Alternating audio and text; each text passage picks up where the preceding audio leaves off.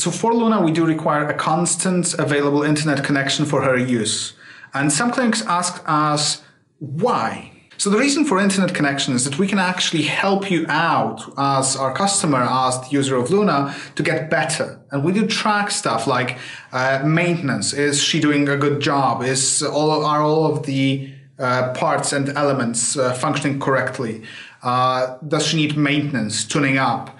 Uh, are you, as physiotherapists and as clinic owners, are you doing a perfect job? Are you getting enough patients? Uh, can you expand?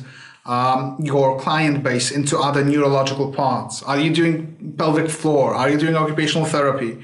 Uh, we can provide reports to you to both the clinic, like the clinical uh, supervisor, medical doctors, or we can provide feedback to the therapist so that you can become better at what you do.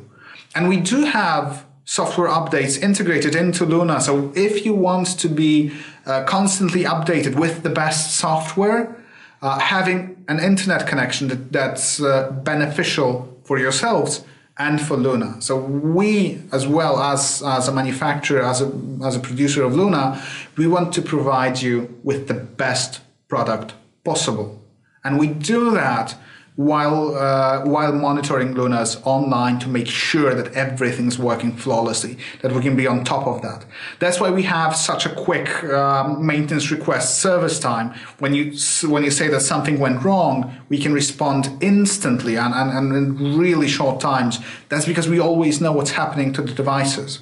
And don't worry about anonymity. All of our systems are actually compliant with all of the privacy requirements. So so no issues there and we can really be supportive in what you're doing. That's why we require Lunas to be with a constant internet connection because we can help you that way much better than we could otherwise.